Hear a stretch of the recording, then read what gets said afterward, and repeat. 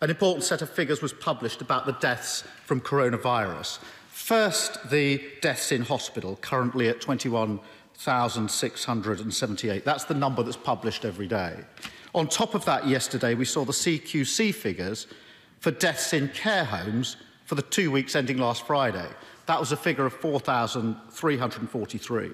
And at the same time, the ONS figures came out for deaths outside of hospitals, outside of care homes, uh, and that was a figure up to the 17th of April of 1,220. There's a bit of a complication because of the different dates, but that makes a total to date, Mr Speaker, of 27,241 recorded deaths from coronavirus.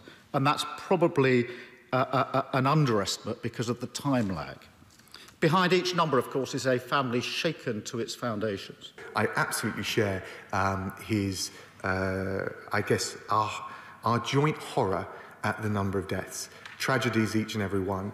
Uh, equally, I, I'm going to disagree with him that it is far too early to make international comparisons. If they are to be done, they should be done on, on a per capita basis.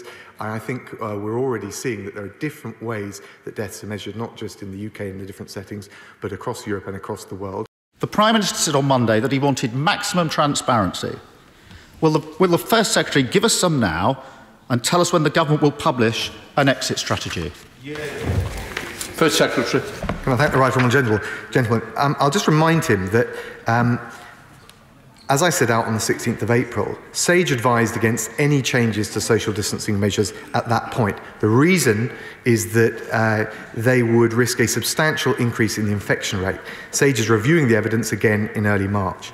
Uh, he's asked for a, a time frame and a date. We can't give it until we have the SAGE evidence. Uh, if he thinks there's things that we could be announcing, whether it's along workplace, which you referred to, schools, or, or otherwise, he, feel free to propose those things. Um, but I would just gently say that based on the advice and the evidence that we had from SAGE, which he said he wants to closely follow, uh, it would be very difficult for us to responsibly set out those proposals before we've had that subsequent advice from SAGE.